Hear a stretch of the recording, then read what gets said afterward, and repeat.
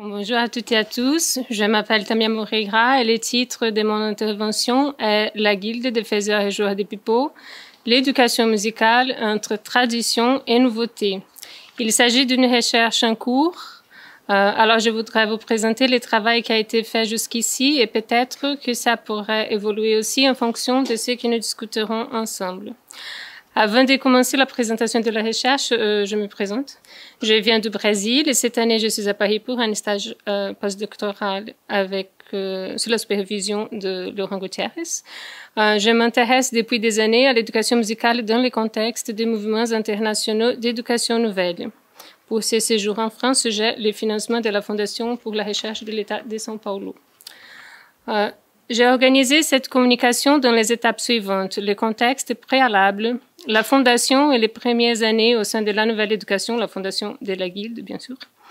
L'alliance au CMA. La Guilde reste la Guilde, les pipeaux deviennent flûte et les considérations finales. La Guilde française de faiseurs et joueurs de pipeaux est fondée le 10 juin 1933 dans un contexte d'échanges internationaux pédagogiques et musicaux en cours depuis la décennie précédente. J'indique ici quelques aspects de ce contexte propices à l'organisation du groupe.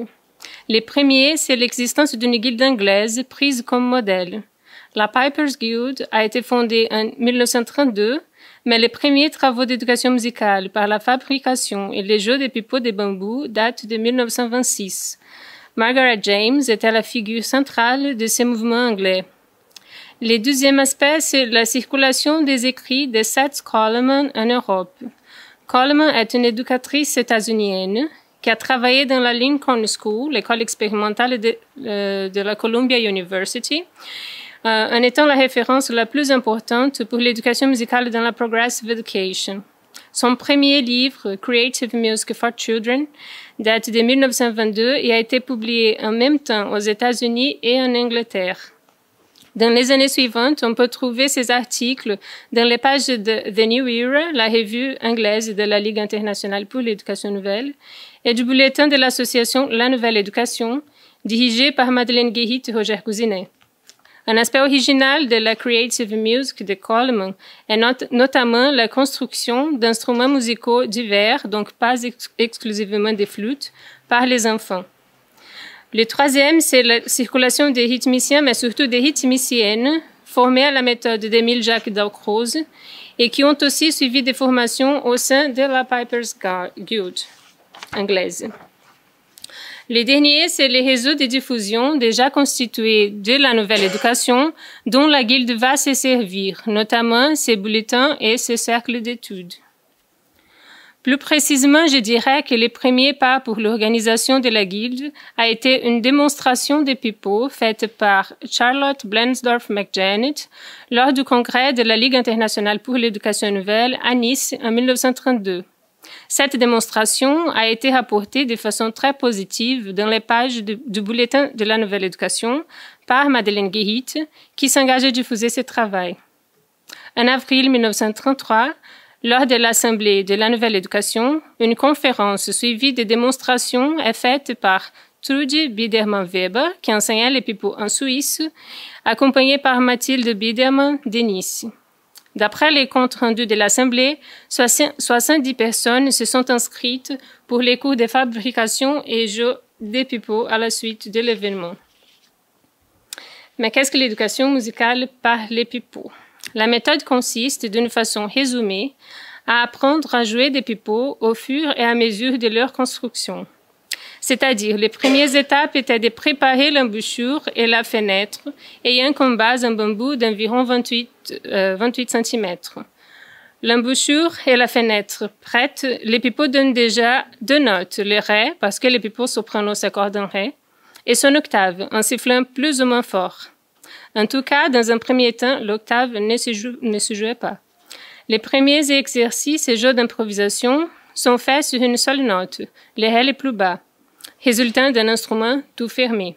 Donc sans aucun souci par rapport au doigté, tout en travaillant les souffles, l'oreille, les rythmes.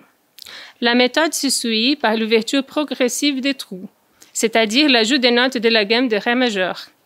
Par exemple, le jeu avec le Ré et Mi, puis avec Ré, Mi et Fa dièse, ensuite avec Ré, Mi, Fa dièse et Sol, etc., ce qui enrichit le répertoire et fait progresser la notation. Après l'ouverture de tous les sept trous, les pipeaux est ce qui rend l'instrument plus résistant et implique aussi une autre activité artistique. Telle accumulation de notes était présentée comme une espèce d'astuce didactique, et l'interdépendance entre les jeux et la construction même de l'instrument était une réalisation en éducation musicale d'un aspect cher à l'éducation nouvelle, à savoir les travaux manuels. La construction des pipeaux plus grands et accordés différemment peut s'enchaîner, ce qui enrichit les, possibilités des jeux d'ensemble. Après les premiers cours et démonstrations, le 10 juin 1933, la réunion des fondations de la Guilde française a lieu et, euh, et y sont établis les buts spécifiques de l'organisation ainsi que son comité. Les buts sont les suivants, je cite, fabrication d'instruments simples, pipeaux de diverses longueurs, viols, luttes, etc., avec un matériel simple, des poils à guilde de bambou et des couteaux. Leçons d'ensemble instrumental données chaque mois par un professeur diplômé de la guilde et offertes aux membres ordinaires. Formation des professeurs qui, pour recevoir les diplômes d'enseignants de la guilde, devront suivre des cours, faire des stages et justifier des connaissances musicales suffisantes. On peut dire que ces trois axes, la construction d'instruments, et bien qu'ils parlent d'autres instruments, ils se consacreront presque exclusivement au pipeau. L'enseignement du jeu et la formation des professeurs vont demeurer leurs actions fondamentales. Voici les premiers comités et on peut voir que les deux directeurs de la nouvelle éducation, Guérit et Cousinet, y participent. Dans un premier temps, les activités de la Guilde s'inscrivent dans le contexte de l'association La Nouvelle Éducation.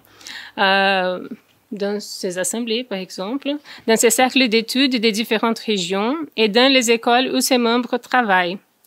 Pendant les années qui suivent, la Guilde organise ses propres groupes régionaux, les sections des provinces, ayant chacune une présidente chargée de recueillir des cotisations et d'organiser des réunions de jeux et de perfectionnement. Depuis son début, comme on peut constater par les personnes nommées, les mouvements étaient majoritairement féminins. Et pendant qu'il s'installait nationalement, il connectait des musiciennes et éducatrices dans un cadre de circulation internationale, surtout en France, Suisse et Angleterre. Par rapport à cet environnement féminin, c'est remarquable que la guide ayant des séances à l'exposition des arts et techniques dans la vie moderne en 1937 présente son travail dans la classe mère, enfant, famille. Les démonstrations avaient pour titre La rénovation de la musique en famille par les pipeaux de bambou et ont été faites par Henriette Goldenbaum, personne capitale pour le développement de la guide au cours des décennies suivantes. Elle est également l'auteur avec Annie Miller de la première publication de la Guilde, les recueils Chansons populaires françaises pour pipeaux de bambou et piano, paru aussi en 1937.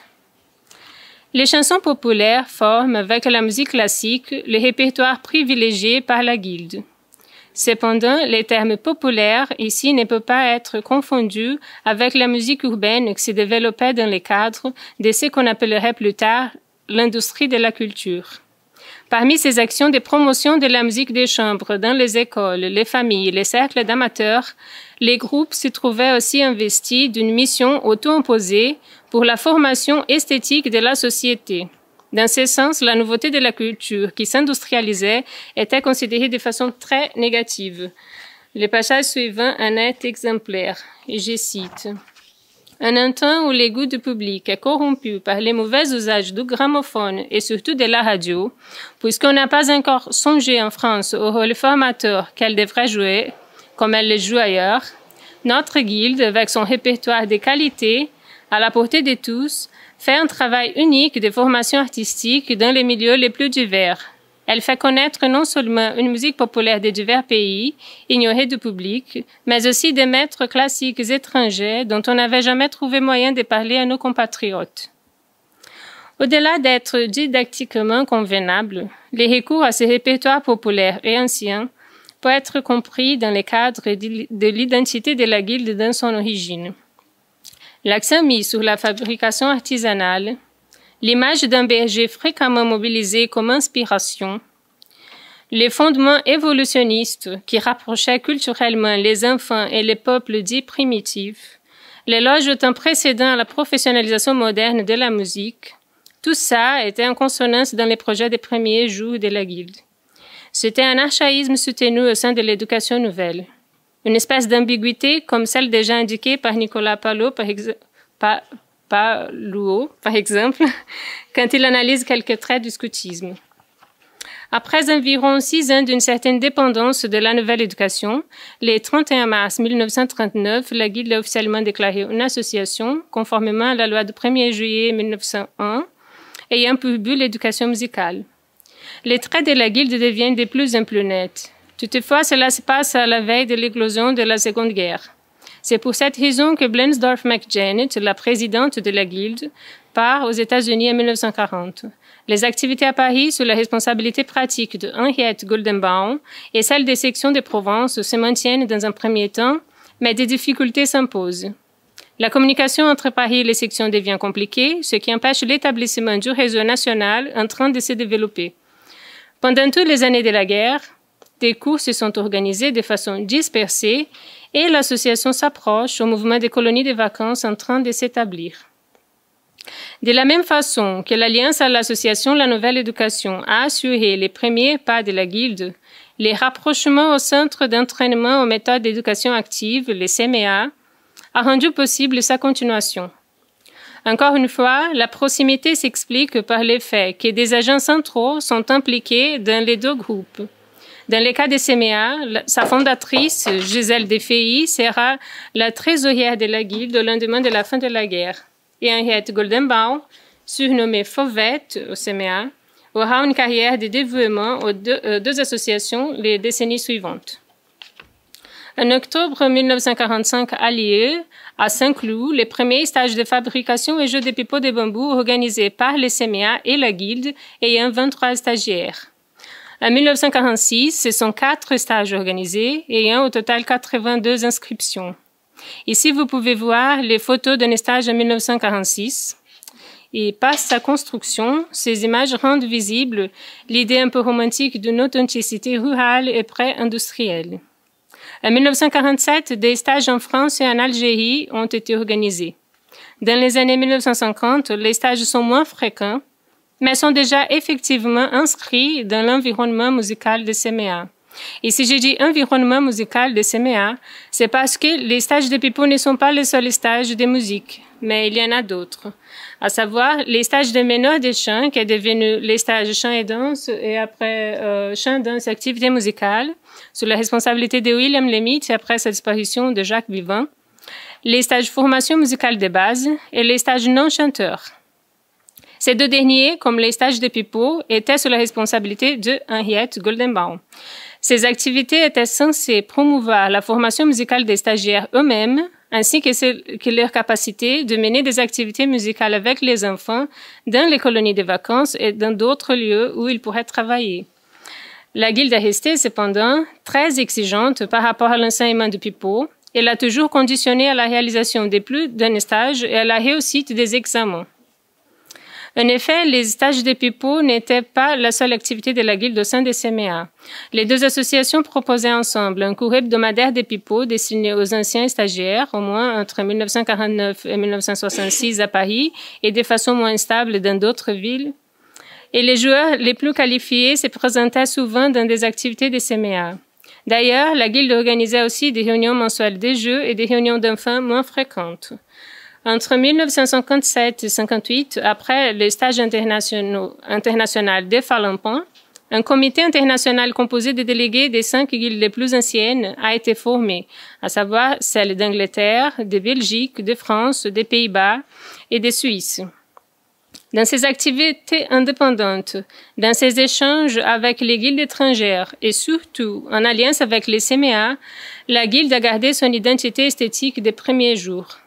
L'argument éthique, la possibilité de faire de l'éducation musicale en utilisant des instruments pas chers, a été de plus en plus mis en avant. Goldenbaum, lors d'une présentation à la Société internationale pour l'éducation musicale en 1970, a même affirmé par rapport à la méthode de la guilde que la limitation des notes et le rajout progressif serait comme, je cite, une situation d'égalité sociale dans le domaine musical. C'est pendant les années 1970 qu'on observe une transition graduelle de responsabilité entre Goldenbaum et Gisèle. Euh, je suis désolée, je ne sais pas comment ça se prononce le nom des familles, mais c'est Gisèle Coaten-Rock, j'imagine. Euh, c'est aussi dans les années 1970 qu'on observe une décentralisation des stages de CMA. En parallèle aux stages organisés dans une échelle nationale, il y en a de plus en plus qui sont proposés par des délégations régionales. En conséquence, une diversification des propositions émerge. Dans le domaine musical, au-delà des activités déjà bien établies, dirigées par les cercles de Goldenbaum, Rock, Vivant et quelques collègues, d'autres manifestations commencent à voir les jours. Je souligne le terme sonore, euh, pas musical, mais sonore, commence à être utilisé, ce qui, marque une ouverture esthétique et une proximité à des, musiques, à des musiques contemporaines et expérimentales. Ce genre d'ouverture, généralement, ne se fait pas sans une mise à jour pédagogique. C'est notable dans l'éducation musicale française des années 1970, par exemple, l'idée des musiques libres et la construction de l'instrument ariel dans les mouvements de l'école moderne, à la fin de la décennie, l'instrumentarium des frères Bachet, ou les réflexions et expérimentations menées au sein de GRM, groupe de recherche musicale de l'INA, Institut national d'audiovisuel, diffusé entre 1976 et 1978 sur France Culture, dans l'émission Éveil la musique et qui ont abouti dans les livres toujours actuels La musique est un jeu d'enfant de la Lande. La guilde, à son tour, avait l'air d'être bien ancrée dans son identité première. Peut-être que le fait de participer à une association diversifiée comme les CMA lui permettait de jouer un rôle particulier. Ce n'est plus question de renouveler l'enseignement de la musique. Cette tâche est indiscernée, à partir des années 1970, à ceux qui s'ouvrent à de nouvelles esthétiques et technologies. Même si ce genre de mouvement a été essayé, il n'a pas eu une vraie résonance. Dans les comptes rendus de la rencontre internationale d'enseignants de la Guilde à Marly en juillet 1974, par exemple, on lit qu'un jeune compositeur, Georges Hersin, y a fait une résidence. Son travail est décrit comme, je cite, d'un caractère très actuel. Les effets sonores étaient peu familiers aux joueurs les réactions des tuyaux, ont été favorables et défavorables. L'écriture était insolite et inattendue, un mode d'expression sorti de l'imagination du compositeur. C'est visible que les contacts euh, avec la musique contemporaine, pas néoclassique, a été un peu pénible en ce moment pour la guilde. Des expériences plus significatives avec la musique électroacoustique, par exemple, ne seront faites que dans les années 1990, comme cette création de Jean-Pierre Daudet. Au-delà du rapport difficile euh, au, renouvellement, au, renouvellement, esthétique, les titres même de l'association a pris du temps pour être vraiment mis en question. Depuis les, années 1960, la Guilde suisse, par exemple, avait déjà abandonné les mots pipeau, les considérant désuets et même inadéquats. Les discussions dans ce sens en France montraient, comme dans le cas du répertoire, une certaine tendance à un traditionnalisme ou au moins une difficulté de modernisation. Le changement de nom n'est arrivé qu'entre 1987 et 1988 et ne faisait pas encore unanimité. Je dirais donc, pour finir cette présentation, que cet examen en cours de l'histoire de la Guilde indique que l'ambiguïté, voire la contradiction entre tradition et nouveauté, qui était déjà inscrite dans son origine, a demeuré constitutive de son identité. Et en ce moment, j'aurais deux hypothèses pour interpréter cela. La première, c'est que la Guilde a eu un développement assez centralisé pendant très longtemps. La figure de, Goldenbaum a été nucléaire pendant plus de, plus de 40 ans. D'une part, son dévouement a évidemment assuré l'existence même de la guilde. D'autre part, on peut se demander si les mouvements plus pluriels ne seraient pas moins figés et plus ouverts au changement. La seconde hypothèse, je l'ai déjà mentionnée, c'est qu'en étant un axe d'une grande association comme les CMA, la guilde n'a peut-être pas éprouvé une vraie nécessité de changement vu que son rôle était spécifique dans un cadre plus large et déjà diversifié. C'est ça. Merci de votre attention.